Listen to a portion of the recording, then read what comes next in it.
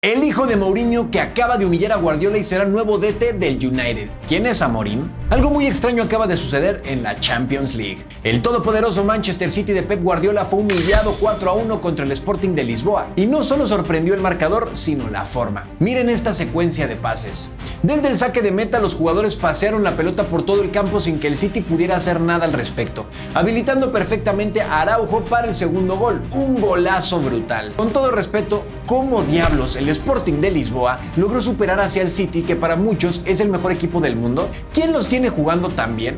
La respuesta corta es Rubén Amorim, un técnico de apenas 39 años que para ser DT es un niño prácticamente. Lleva dirigiendo al Sporting desde hace 5 temporadas y en 2 ha salido campeón. Para que se den una idea de lo brutal que es esto, antes de que él llegara, el Sporting no había ganado la liga en 19 años. Él lo logró en su segunda temporada. Su carrera en el fútbol ha sido algo curiosa. Empezó como muchos técnicos siendo primero jugador. Jugó 13 temporadas, en su mayoría en el Benfica, y fue convocado 14 veces con la selección de Portugal. Una carrera futbolista, digamos, cumplidora, donde su highlight fue precisamente que compartió la selección con Cristiano Ronaldo en alguna ocasión.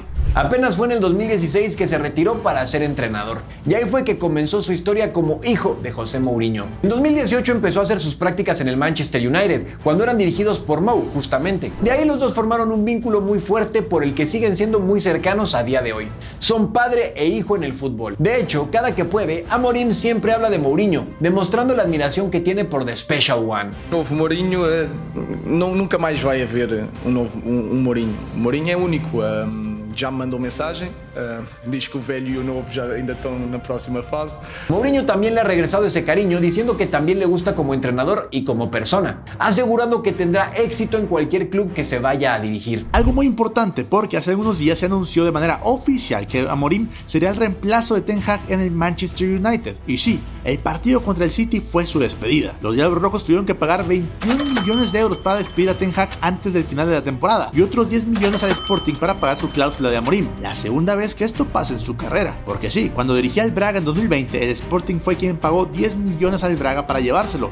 Una de las contrataciones de técnicos más caras en la historia de la liga portuguesa. Lo más loco es que apenas llevaba dos años como entrenador y que el Manchester United haya invertido 31 millones de euros para traerlo cuanto antes solo nos deja una duda. ¿De verdad es así de bueno? La victoria en Champions League contra Guardiola y los dos títulos con el Sporting hablan casi por sí solos. Pero ampliando un poco más, lo que sorprende de los equipos de Amorim es su enfoque ofensivo.